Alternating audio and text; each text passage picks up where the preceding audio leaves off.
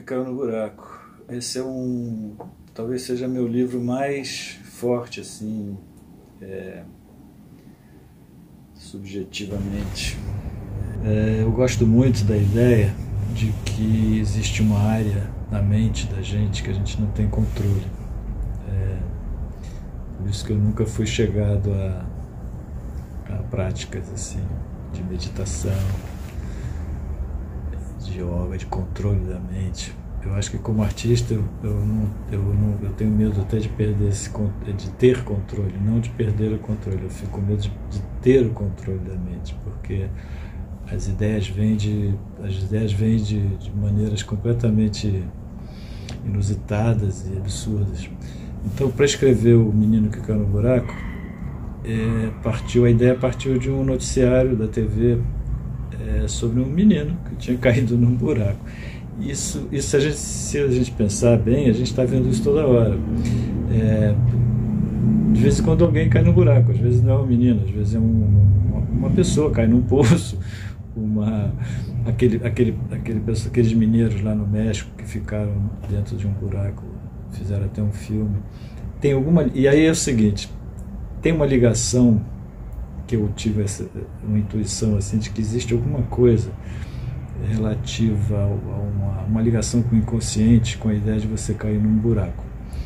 E, e quando eu vi esse noticiário, fechou uma ideia de que é uma associação muito básica, muito simples, de que o buraco é tem a ver com túmulo, tem a ver com, com cair numa depressão, tem a ver com um monte de coisa. E parece intuitivamente que as pessoas sentem isso. Por isso que toda vez que alguém, que se, as reportagens sobre alguém que cai no buraco é sempre uma coisa de, da solidariedade de todos em volta.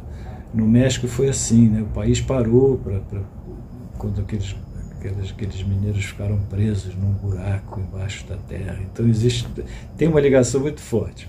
E aí, quando você deixa a tua mente livre, justamente sem controle, aparecem essas ligações assim. Então, a, a ideia de escrever esse livro veio daí, de uma reportagem. Aí, na verdade, é, era uma outra coisa que eu queria escrever. Aí começa, né? Aí eu fui para um sítio e me isolei nesse sítio e eu tinha a ideia só de de um garoto que caiu no buraco e saía do buraco, assim, não tinha muito. Só que aí começou, né, cara? Começou uma coisa que tinha a ver com a minha vida, que tinha a ver com a relação do meu pai.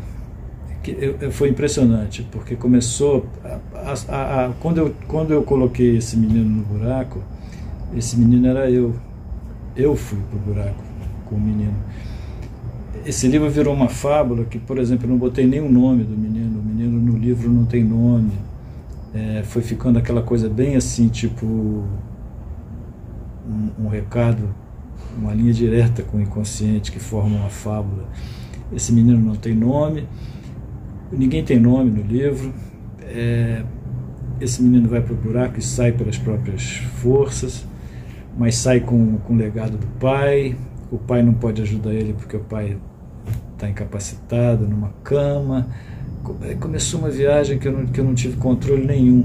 Então, esse, assim, eu só fui colocando para fora na escrita é, uma coisa que estava vindo muito de dentro e foi espantoso. Eu ia fazer uma coisa completamente oposta e saiu uma coisa assim da minha alma mais profunda.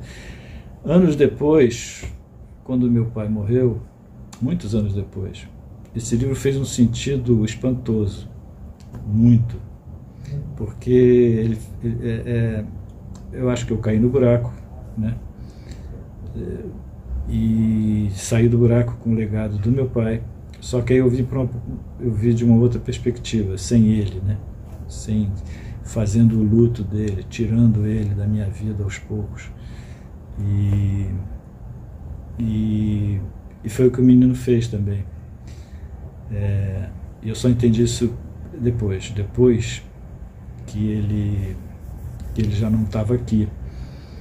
E aí é que o livro fez sentido. Então, para mim, ainda, ainda tem essa camada. Assim, eu gosto muito dessa coisa mesmo, do, da ideia de ter uma coisa sem controle, que, que as pessoas podem chamar de inconsciente, que está por trás é, dos nossos atos, das nossas, dos nossos pensamentos, da realidade que a gente cria.